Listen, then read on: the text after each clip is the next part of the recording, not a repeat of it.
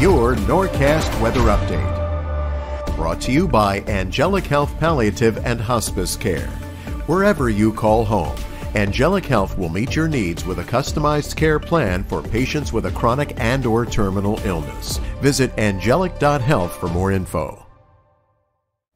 Temperatures at this hour are starting to fall below 70 degrees for a lot of South Jersey, hanging on the 71 in Marlton, 70 on the nose in Wilmington.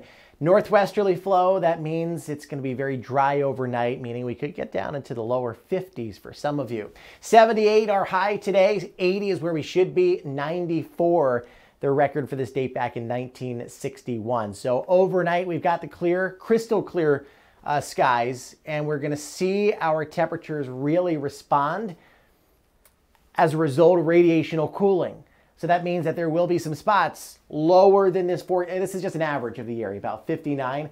But I wouldn't be shocked if we wake up tomorrow morning 51, 52 degrees. In the afternoon, right back up into the upper 70s to around 80 degrees. Now, if you're looking for one last push of summer weather, I think it's right over yonder. Okay, we start to come up on Sunday back above normal, Monday, Tuesday, Wednesday looking like we could get around 90 degrees. Have yourselves a great night, everybody.